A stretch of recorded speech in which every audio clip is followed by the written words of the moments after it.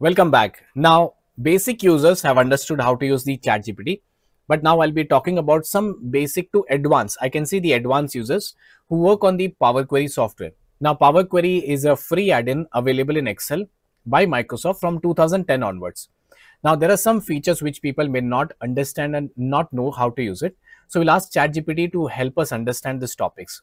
So, the first question, okay. So, first thing I've opened a new chat, everyone. The first question which I want to ask them is, explain me how to get data from website in Microsoft Excel, okay. In Microsoft Excel Office 365. So I'm asking them a question that explain me how to get data from a website in Microsoft Excel Office 365 version. So you can ask them a lengthy question, it will still give you the answers. So here comes the answers. Please observe here. These are the step-by-step -step answers given to you.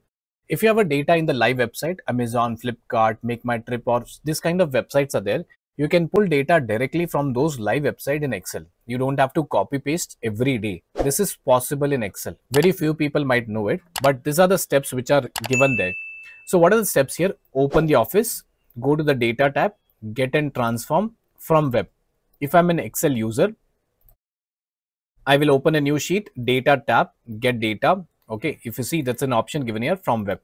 Now from here, I have to paste the URL of that website. If you observe the steps which are given by GPT, then uh, you have to paste the URL, enter the URL, click OK, then navigator and so on. So these are the steps. Let me open a website, let's say as uh, I'll open Wikipedia. Okay, and Wikipedia, I will search for something, let's say as GPT, something, some, some text over here. And I can just copy this particular text, come back to Excel, paste the URL, click on OK. These are the steps which are been guided by ChatGPT to us so that we can perform the activities on Excel. Now this will try to create a tabular structure into Excel and I can choose the data which I have been picked in.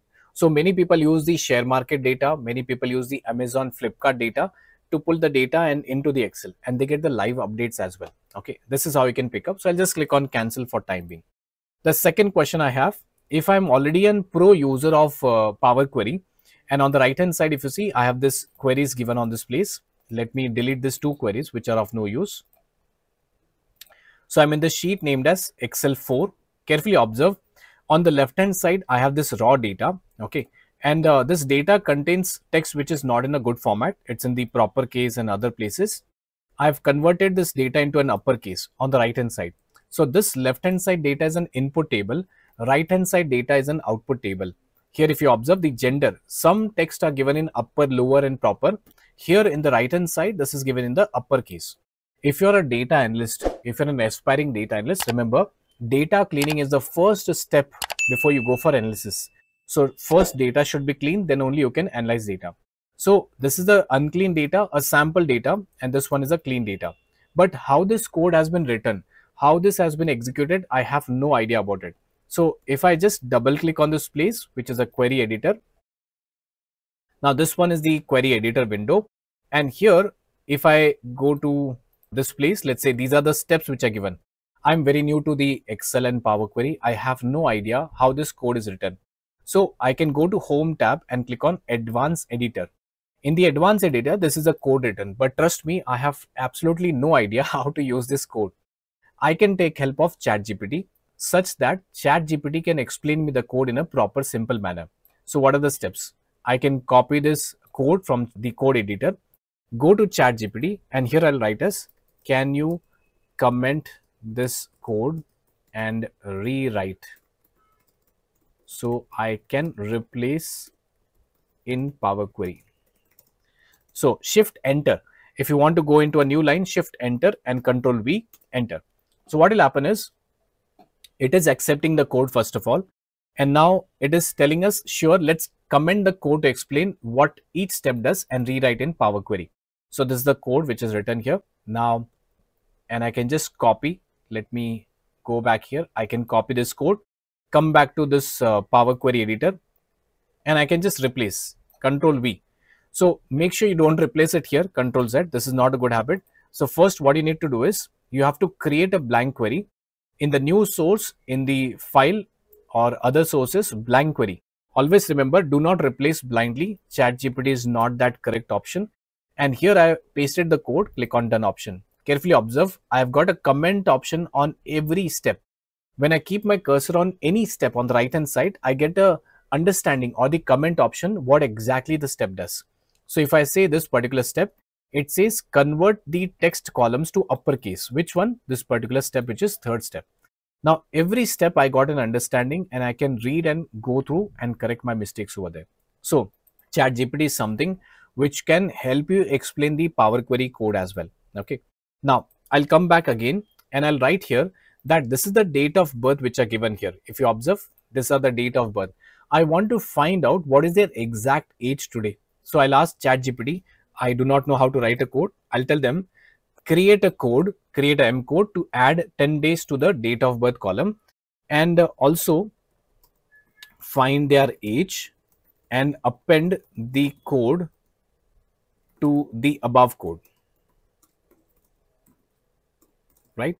So I've written them a create M code to add 10 days to the date of birth column and also find the age and append the code to the above code.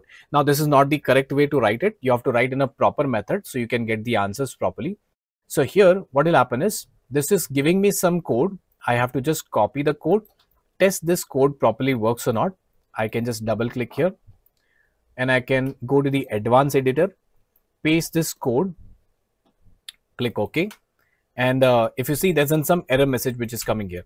So why the error message comes, we have to cross check and get the understanding.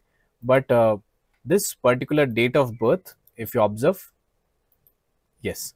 So this added 10 days, you see this is perfect. So if I come back here, if you see 12th May 1985, let me zoom the screen for you. 12th May 1985 which is given and here if I say added days, it has added 22nd May 1985. So it is working fine. One step is working fine, but calculating the age of a person is not working. So we need to rework on that and I can still get the answers. So everyone, even if you're not uh, knowing about Power Query, if you don't have much knowledge about it, basic knowledge is required where to paste the code, how to paste the code, that is required.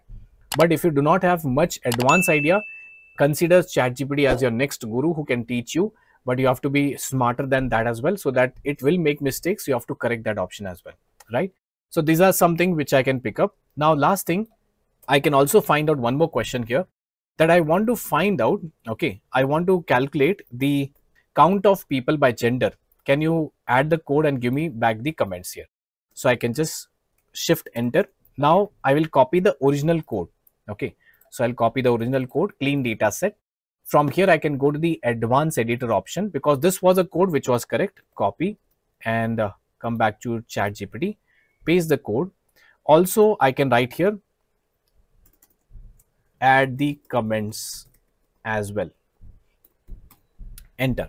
So now this will generate an M code. Not only M code, it generates all the codes, whatever languages are there in the world. It generates Python, HTML, uh, Java, .NET, every code it generates. So I can just copy this code, come back to Power Query. Here I can create a blank query. Now I can click on Advanced Editor, try to paste it.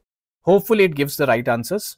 But now if you see, it tells me male, there are 19 people, female, there are 9 people. Now, to do this activity, I have to do some steps. ChatGPT gave me quickly. Okay. So if I go back to this clean data set and if I try to find out how many females are there on this place, you see the number of rows I'm getting here 9. 9 females are there. So if I go back here, it tells me there are 9 females. So the answer is correct somewhere which I can use it. So how to use Power Query with ChatGPT? These are the four examples I've given and uh, I hope you've understood. You can pick up thousands of examples and make yourself more perfect what you're right now with the help of ChatGPT. I hope you've understood. That's all for this video.